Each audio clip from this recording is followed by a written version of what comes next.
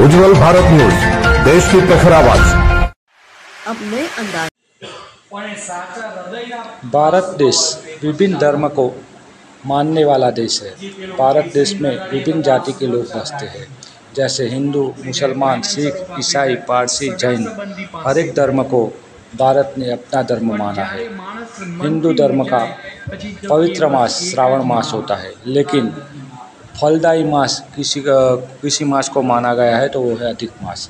अधिक मास में हम देखते हैं कि हिंदू धर्म के लोग मंत्र, तंत्र, जप, यज्ञ पाठ, पूजा सब करते हैं और उसका फल भी वो तुरंत प्राप्त करते हैं। उसी के तहत अधिक मास का विशेष योगदान है।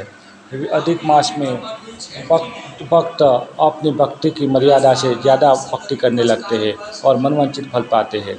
उसी के तहत अधिक मास में हर एक शहर में, हर एक गाँव में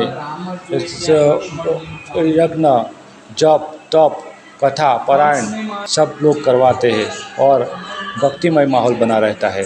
उसी के तहत अरवली ज़िले के मोहासा शहर में श्रीमद् भगवत गीता पारायण यज्ञ का आयोजन हुआ है।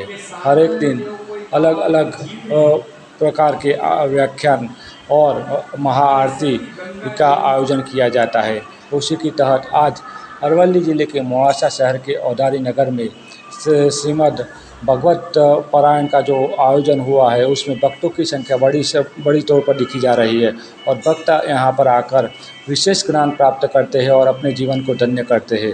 हिमांशु व्यास, उज्जवल भारत न्यूज़ अरवली मास। इस मास में हम देखते हैं कि हर एक जगह पर धर्म कार्य होता है उसी के तहत आज अरवली जिले के महासा में भी धर्म कार्य पारायण अ, भगवत पारायण का यहाँ पर वो प्रोग्राम हो रहा है तो यहाँ पर बड़ी संख्या में भक्त उपस्थित है और हम उनसे जानकारी लेंगे उन, उनका अ, भावना कैसी है और उनको कैसा लग रहा है और कैसा बिहेव वो कर रहे हैं तो हम आज भक्तों से मिलेंगे और उनसे जानकारी लेंगे नमस्कार નમસ્કાર મારું નામ કિરણબેન પ્રકાશકુમાર ભાવસર છે ને અહીંયા દેવી પુરાણ બેઠું છે અહીંયા.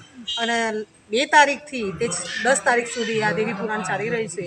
અને એમાં એવો બધો સરસ માહોલ બને છે કે માં શિવ શક્તિની આરાધના કરતા હોઈએ જે અધિક માસની અંદર અને આવું આપણને હિન્દુ સનાતન ધર્મ વિશે આપણને જાણવા મળતું હોય. અને આપણે કર્મ શું કરવું એની પણ આપણને જાણકારી મળતી હોય ને આ દેહને કેવી રીતે સમર્પિત કરવો એ માટેનું આપણને સરસ એવું જ્ઞાન આપને આ ગુરુજી દ્વારા જે મળ્યું છે, ખરેખર ખૂબ આનંદમય છે અને આજનું વાતાવરણમાં જગદંબાની પ્રાગટ્ય દિવસ છે.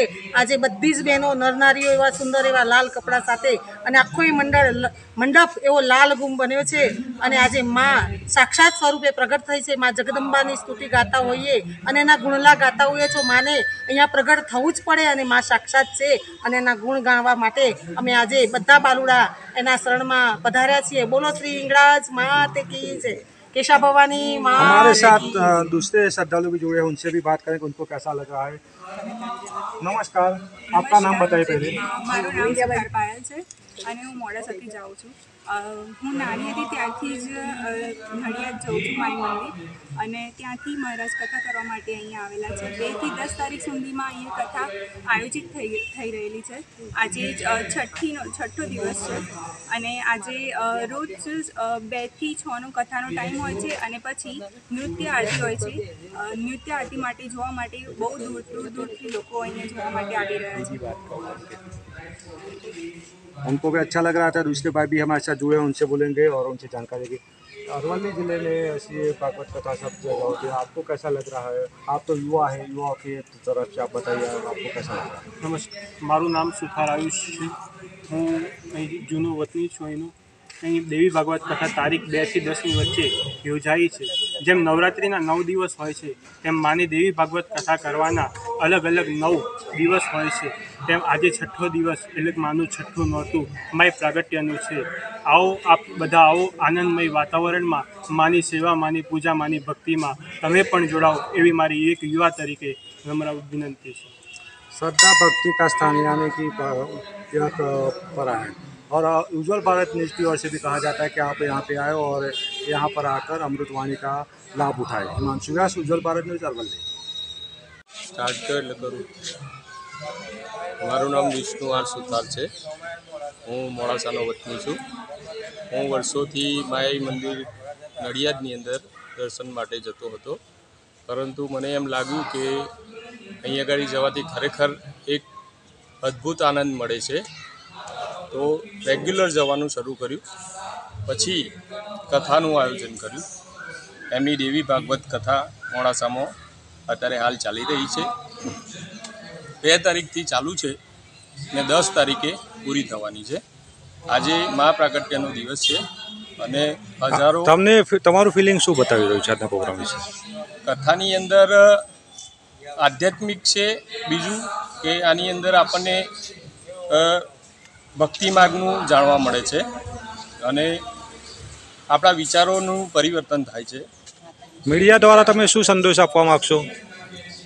મીડિયા દ્વારા એ સંદેશ આપવા મીડિયા મીડિયા દ્વારા. મીડિયા દ્વારાને એ સંદેશ આપવા માગું કે દરેકે આ ધર્મ ધાર્મિક કાર્યની અંદર જોડાવવું જોઈએ અને આનો લાભ લેવો જોઈએ. પુરુષોત્તમ માસ ચાલી રહ્યો છે ત્યારે જ અહીંયા ભાગવત કથાનું આયોજન કરવામાં આવ્યું છે. મોડાસા માયમ પરિવાર તરફથી આયોજન કરી રહ્યા છીએ અને બધાને ભક્તને લાભ લો એવો અમે બધાને આગ્રહ કરીએ છીએ. અને આજે માનવ પ્રાગટ્ય દિવસ છે. એનું સૌ કોઈ દર્શન કરવા લાભ લેવા માટે બધા બધાને છે. અધિક માસ પૂર્ણ થવાના આરા ઉપર જ્યારે પુનઃ તમે ઊભા છીએ, ત્યારે સુંદર મજાનો પવિત્ર અધિક માસ ત્રણ વર્ષે એક વખત આવે છે. અધિક માસની અંદર તેણે ખૂબ દાન, ભક્તિ, સેવા, પૂજા જે કર્યું છે, એને અનેક ગણું ફળ મળશે જ.